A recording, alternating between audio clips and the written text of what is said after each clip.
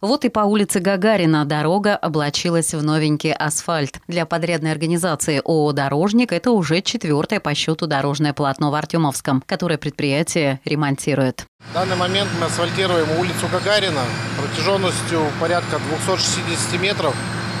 Квадратов там получается у нас около 1800 квадратных метров. Сегодня начали э, с беспыливания дороги, то есть подмели все, обеспылили, пролили с битумной эмульсии, и начали укладывать э, нижний слой.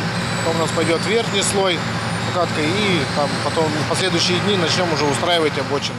Работы по асфальтированию дорог подрядная организация проводит с соблюдением всех ГОСТов и СНИПов с использованием только сертифицированных материалов, отметил представитель подрядчика. Все материалы у нас сертифицированы, все сертификаты всегда прилагаются при сдаче объекта. То есть все заводы, асфальтобетонные, то есть эмульсию, все везде сертификаты всегда прикладываются. По завершению работ о их качестве вердикт вынесет дорожная лаборатория, ведь приемку жилкомстрой будет проводить на основании проведенных исследований.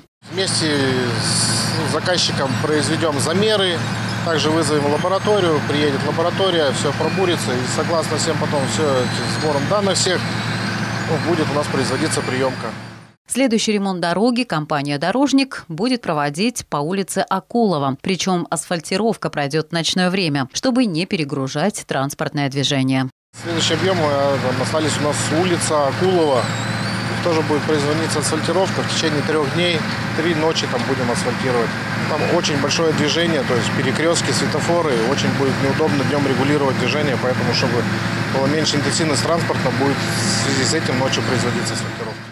По словам представителя ООО «Дорожник», в ночной асфальтировке дороги по Акулово нет ничего страшного. На качестве это не отразится. Тем более приемка выполненных работ заказчиком также пройдет по результатам дорожной лаборатории.